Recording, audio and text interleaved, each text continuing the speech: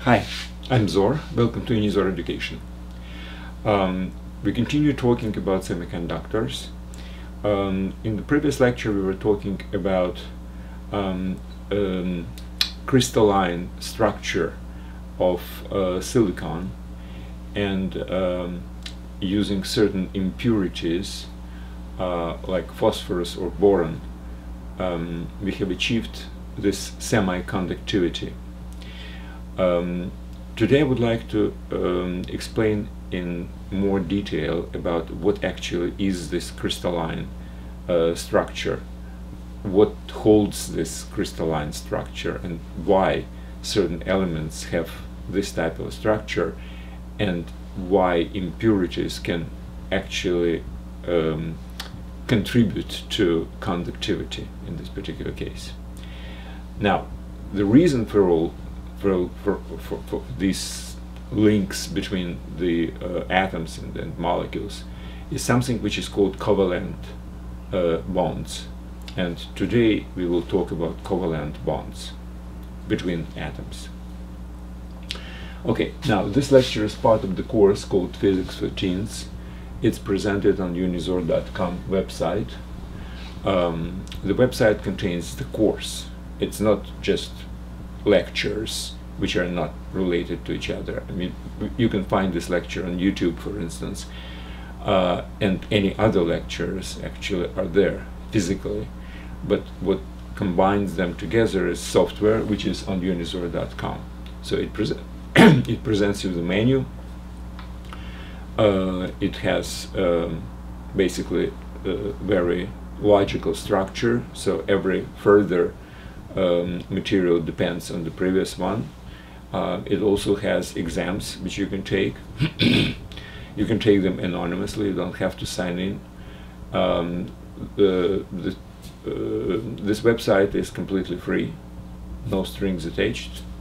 And as I said, you don't even have to um, sign in into the in, into the website. I mean, there are certain um, benefits if you sign in, but that's completely uh, un unrelated to material presented. Now, there is a prerequisite course on the same website. It's called Math for Teens, and I believe math is extremely important for, uh, well, for general understanding of how things are arranged and phys for physics specifically. So I do suggest you to be familiar at least. I mean, you don't have to take the course if you know um, whatever is in there, but the material presented in the Math for Teens uh, course is very important for physics. Okay, so covalent bonds. Um, we were talking about silicon and sometimes germanium, that's another element, which are base for semiconductors. So they both make this um, structure, this crystalline structure, which is very important for semiconductivity. So, um, let me start from uh, something which you definitely know about, but I'll put it in a little bit different perspective. The structure of the atom. Um, we actually talked about this many times, especially I talked about this when we were talking about um, uh, using the sunlight to generate electricity, solar power. Um, so the atom, as we know, contains a nucleus and electrons. Now, what I didn't tell before, and that's extremely important, um, the nucleus is in the center and electrons are rotating around it. I mean, that's our model it's not like physically like planets uh, rotating around the sun. It's more like a cloud of electrons and uh, at any particular moment they can be in different places. But what's very important, and again I didn't talk about this before, um, the orbits are um, fixed, so to speak. There are certain um, finite number of orbits where electrons can be um, located. And again, orbit is actually like a ring. It has certain, um, I don't know, thickness if you wish. But in any case, it's like an energy level. So the electrons which are rotating on particular radius have certain energy. And electrons which are rotating on a further orbit, they have their own energy. And there is nothing in between, so to speak. So this is related to quantum theory, quantum mechanics, um, the theory which basically um, has this characteristics of anything being not um, in some kind of a smooth um, number of values. Uh, it doesn't really fill completely any kind of a segment of energy level from here to here. It can be only on certain distinct positions. So if you have an atom, if this is a nucleus, then there is one orbit and there is another orbit and there is a third orbit and these orbits have fixed radius, so to speak. I mean, you can view this as a fixed radius. So electrons cannot be on this radius, can be either this or that, or further. So this um, uh, space between the orbits is, is not populated by, by, by electrons. And again, it's related to certain uh, quantum approach to um, structure of the atom and experiments actually um, confirms that this is much closer to whatever reality is. I mean, this quantum model of the atom is much closer to reality. It's confirmed. It's confirmed by experiments than something which you might actually had in mind when you were just talking about electrons rotating on certain orbits around the atom. So we were not thinking about this uh, distinct levels. It's all related to energy, and energy cannot be like divided infinitely down to infinitesimal values. It has certain quantum, whatever the quantum is. Now, the second thing which is very important is that electrons, as they are rotating um, around the nucleus, nucleus has protons and neutrons, so the protons are positively charged and they are attracting electrons. Now electrons are rotating and again it's in some way uh, equivalent to rotating Earth around, around the Sun. So we have two forces. Um, because it's rotating with certain speed if you wish, um, it's trying basically to get away, but the um, uh, attraction of the protons in the nucleus is not letting it out of the orbit. So that's how it's rotating all the time, being attracted to um, the nucleus, to the protons in the nucleus. But at the same time, if you have certain fixed orbit, if you have certain number of electrons, they are filling up let's say you have this one. They are filling up the orbit in such a way that there is, there is certain maximum.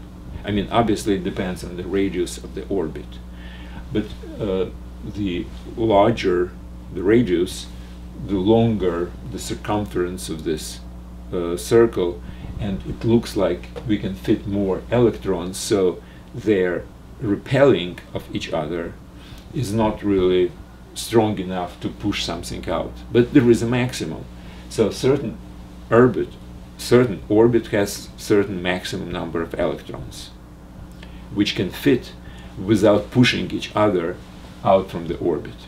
If by any chance, if you have maximum 8 on this orbit, for instance, and you have a ninth electrons here, it's immediately pushed to upper level, to the next one and if it's already filled up, it will be pushed out as well. Maybe, maybe not necessarily that particular electron, but some electron will be pushed out. So there is a certain number, maximum number um, of electrons which can fit any orbit. and I can actually tell you which is this number. So the most, uh, the closest um, orbit around the nucleus has 2 maximum. The next one 8. The next one 18. The next one 32. Well, the next one actually is not continuing this um, for some reasons which uh, are not actually are the part of this lecture. But this is something which you actually can have in mind. So, by the way, it's 2n square, where n is the number of the orbit. 1 square is 1 times 2 is 2. 2 square is 4 times 2 is 8. 3 square is 9 times 2 is 18 and 4 square is 16 times 2 is 32. So this formula for first four orbits actually uh, is held. So these are maximums not necessarily completely filled up for anything. I mean, obviously, the outermost orbit um, might not actually be completely filled up. You can have 8 and 8, uh, 2 and 8, and then let's say 4. And that's, that's all we have, because different elements have different number of protons and electrons. Number of protons is equal to number of electrons, but it can be 1 for hydrogen, it has one proton and one electron, which means the model is this. So this is the nucleus with one proton, and this is a first orbit with only one um, electron. Then the next one is helium, where you have two. And this is already filled up because this is the first orbit. It has two maximum. That's it.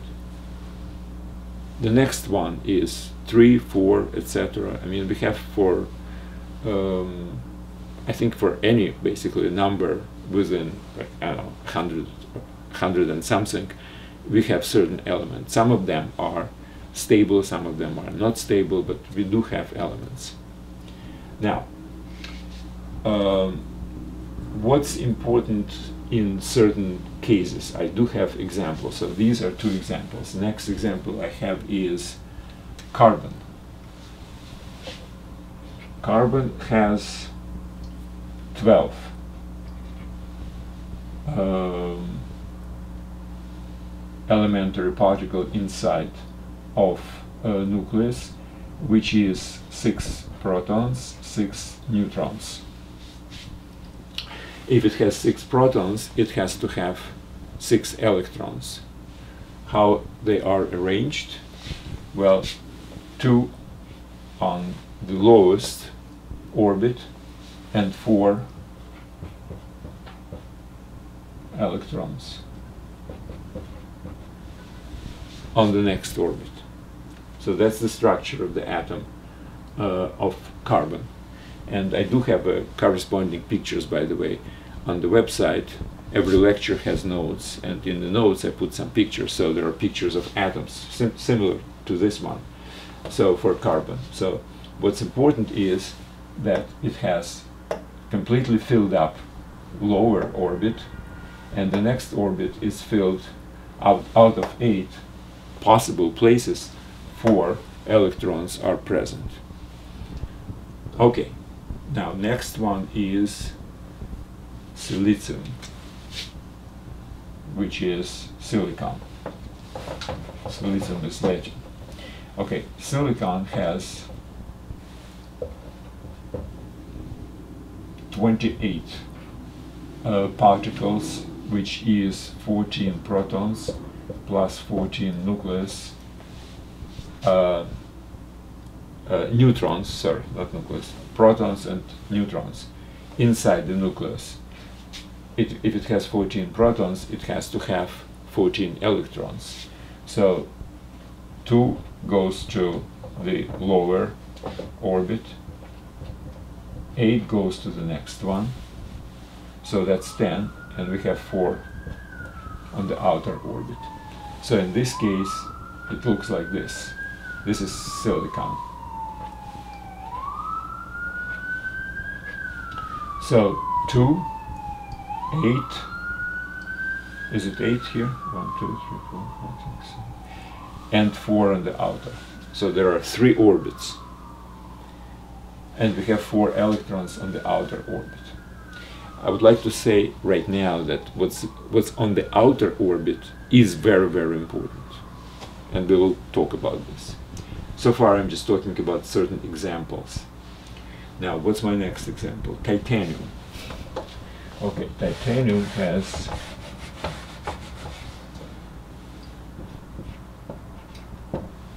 uh, 48. So it has 22 protons, 26 neutrons, and it and obviously it has 22 uh, electrons, which are broken down to two electrons on the first orbit, eight on the next one. Then we have 10 and 2. Now, this is very important, and that was quite frankly at some point in the past was a surprise for me. I thought that orbits are supposed to be packed up to the maximum. So, maximum is 2, it's filled, maximum is 8, next maximum is 18, so we have only 12, so I thought that we will have 12 electrons on the next orbit. Apparently that's not the case. We have many cases when orbits are not really filled up completely. So in this case, this orbit, it has potentially place for 18 um, uh, electrons, but only 10 are taken, and the next two remaining electrons are going to the outer orbit, the fourth one. Why? I don't know. but that that's the way how it is. Um, and again, what's very important is how many electrons are on the outer orbit, because outer orbit is something which actually interacts with other atoms. And that's why it's very important how many electrons are on the outer orbit. There is a special name for these electrons, which I will talk about. What's my next example? Now, titanium is a metal, right? We know that. Now, again, I had an impression that the heavier the, uh, the nucleus, the more protons and neutrons it has inside, the heavier element should be. Like, if this is a metal, then it should be Uh, heavy, basically. But, lo and behold, we have a gas called radon. Radon, and it has 222 elementary particles in the nucleus. Out of those, 86 protons and 136 neutrons. And 86 electrons are 2 plus 8 plus 18 plus 32. You see the first four um, uh, uh, orbits are completely filled up. But then I have again 18 and 8. So that's how electrons are distributed among six different orbits. Okay, so these are just examples of how different atoms are structured according to the model which we are accepting right now as, well, the model which describes the world is the world really arranged this way? Well, let's just put it aside. It's our model, and experiments show that whatever the calculations we do using this model, etc., they correspond to the experiment better than the older model when we did not really take into account the quantum um, uh, levels of, of, of energy. Okay. So these are examples of how the atoms are structured and again what's important is what's on the outer orbit. The next important thing is that if you have something which is not filled up on the outer orbit, um, elements have tendency to interact with each other. I mean, atoms of elements have this tendency. Now, if the uh, outer orbit is completely filled up, and completely means 2 for the first orbit, 8 for the next one, 18 for the next one. So if these orbits are completely filled up, then there is no way they can uh, actively interact with other. They are complete. It's like there is nothing, there is no holes which other electrons can get into. For instance, from other uh, atoms, electron cannot just jump into this one because the orbit is already completed.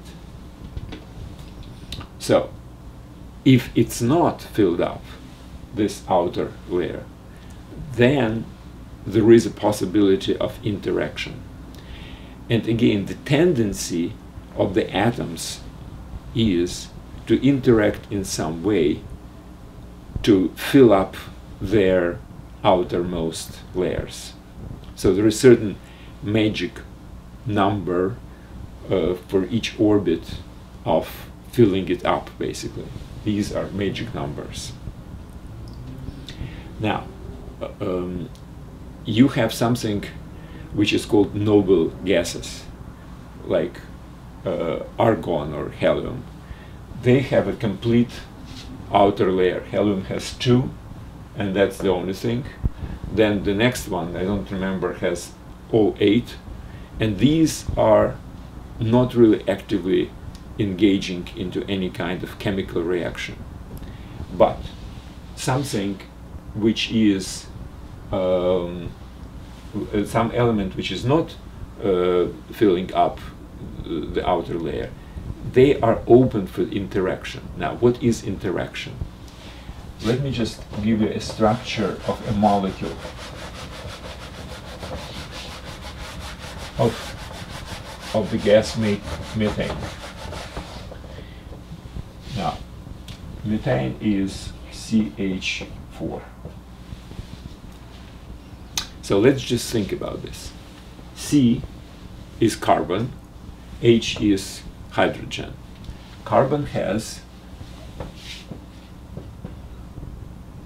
six protons plus six neutrons, and six electrons are two plus four.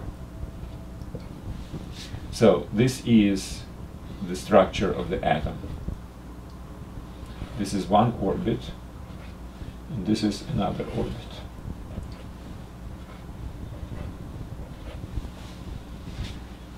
Now, hydrogen has only one proton and only one electron on the orbit. So here is what happens. We have four atoms we have this atom we have this atom of hydrogen we have this atom of hydrogen and we have this atom of hydrogen. You see four electrons and four electrons here. And the magic numbers are, in this case, 8. So what happens is the following. These electrons are shared between both atoms. Now, what, what do I mean share?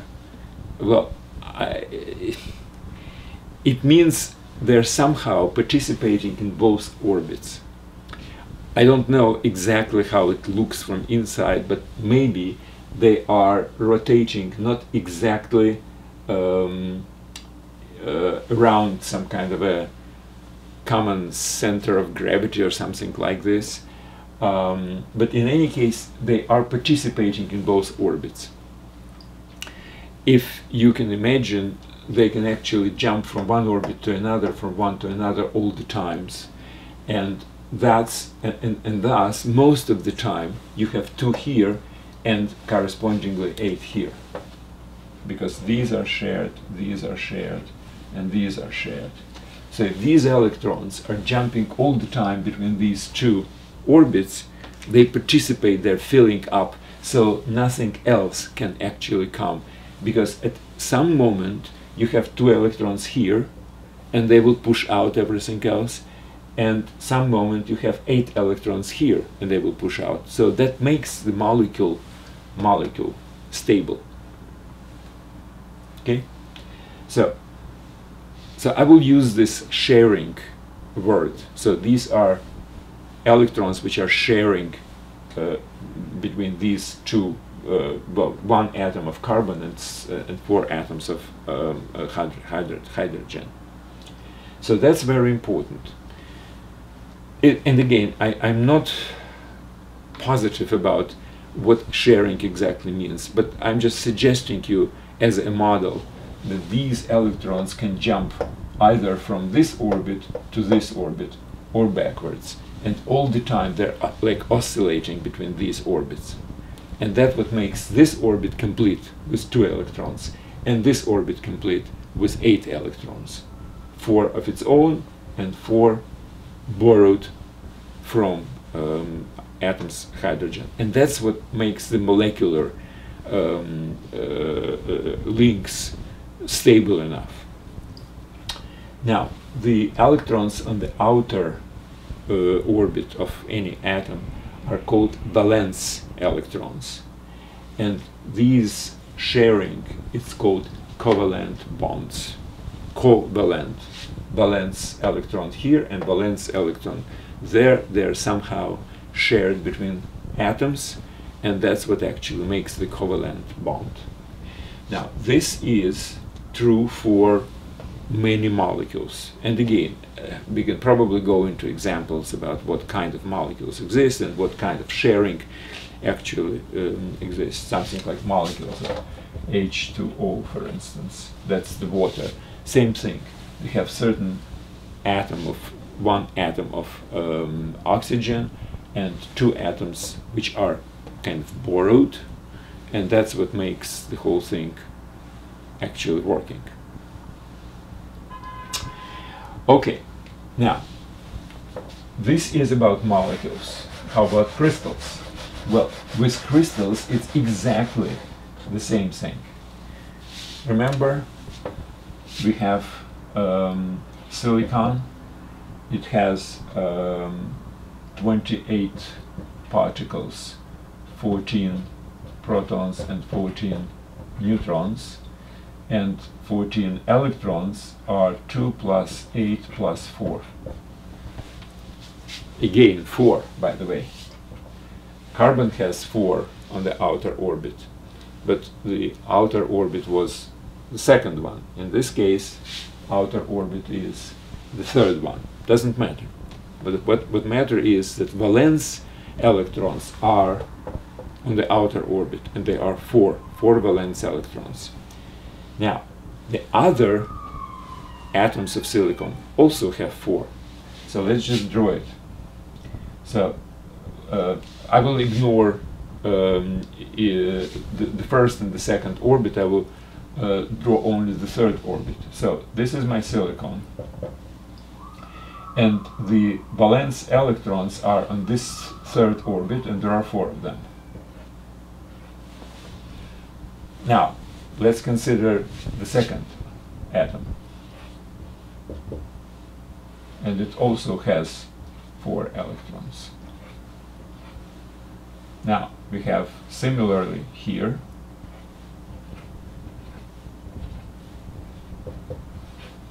and here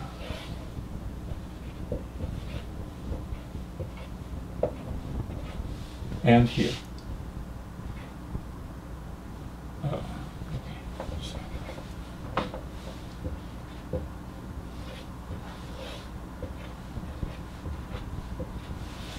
so what might have happened, and it's indeed it happens, as, as, as our model actually tells us, these two electrons are shared, which means they're jumping left and right, left and right. And these electrons are shared, and these electrons are shared, and these electrons are shared. Now, since they are shared, they contribute to both orbits, making this 4 plus 4, which is 8, which is a magic number. And for these guys, we have the same thing actually. It continues. So these are shared, and these are shared, and these are shared, and these are shared, and these, etc. So that's how the whole structure actually is composed. Now, in this case, I draw it on the surface of the board like two-dimensional thing. In, in reality, it's a three-dimensional thing. In reality, four outer electrons are positioned in such a way that they make a tetrahedron. Inside you have a nucleus and you have four electrons on four vertices of tetrahedron. So, in any case, this is a structure which is space 3D structure, but I can just draw it on the board in this way, because again, with each electron you have some other electrons in another atom which looks like this, um, shared electrons shared with, with this one. So that's how we have a crystalline structure. Diamonds have crystalline structure, but not necessarily so. Look, C, carbon, diamond is made of carbon, so it has four electrons, so it also has similar kind of a structure. But we need a huge temperature and pressure to bring these atoms close enough so these covalent bonds start working because in a naturally occurring carbon that's actually not happening. The atoms are so far away from each other that uh, covalent bonds are not really made. But um, under pressure and temperature we are pressing at atoms of carbon so strongly that we can actually make artificial diamonds, and we do actually. It's very expensive, but we do. Um, and again, you will have crystalline structure of the diamond. And again, the same four electrons on the outer orbit. So that's kind of resembles this in a three-dimensional world. But in a two-dimensional world, it, it looks like this one. Carbon instead of silicon, and you will have a diamond. If the atoms are close enough, but in silicon it's already close enough, whatever um, whatever element we have. By the way, silicon is occurring naturally. Uh, sand is CO2. It's a diox dioxide. Okay, so that's how covalent bonds are working. They're bringing together atoms and they're filling up the outermost layers, um, energy layers or orbit uh, to some magic number. 8 is a magic number. Okay. Um, by the way, semiconductors are also made not only from silicon but also from germanium. Now, germanium is another element, and what's the difference? Well, germanium has how many? Uh, it has uh, 32 protons, so it's 74. It's 32 protons plus 42 neutrons, and 32 protons are 2 plus 8 plus 18 plus 4. So again, these three first layers, three first orbits are completely filled up and on the outer orbit we also have four. And again the similar structure but only germanium atoms will be here and outer orbit has also four electrons and they are making these covalent bonds in exactly the same way. Um, so and again impurities will bring certain new electrons or certain electrons will be lost. If it's boron, it's lost. If it's uh, phosphorus, for instance, it's extra electrons. And it all depends on how many electrons we have on the outer orbit. On the phosphorus we have five, so this is phosphorus, then we have one extra electron, which is not paired. I mean, these are all participating in these covalent bonds, and this one is not. So it's easy to push it out. Just bring a little bit energy, like heat it up or something like this, and it will start moving and it will be a conductor.